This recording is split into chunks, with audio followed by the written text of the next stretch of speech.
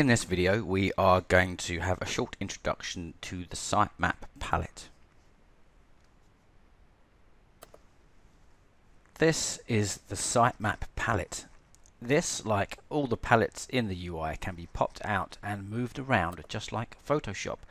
Useful if you have several screens. The sitemap palette is where we create, organize and not least open pages.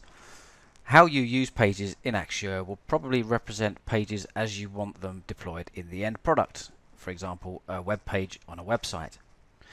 When you create a new file it is loaded with a home page and three subpages as you can see here. You can drag and drop pages and add folders to indicate hierarchical relationships between pages via indentation. There's also a search facility that's useful for navigating a large number of pages. To open a page, you double click it. You see it open as a new tab with the page name appearing in the tab at the top of the canvas. There are two diagram types, page and flow. You right click pages to access a contextual menu which provides this as well as other options. There's not a great deal of difference between the two diagram types except in the way that you'll use them, i.e. one is where you put wireframes, the other is where you diagram the process flow.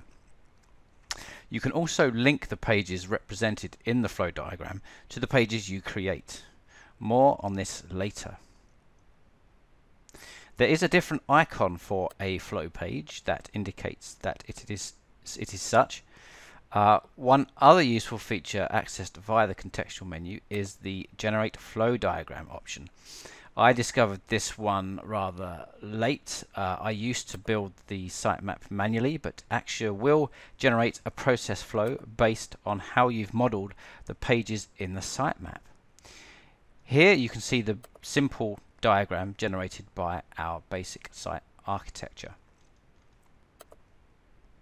If anything changes during the project, simply make the changes to the sitemap, then simply regenerate the diagram.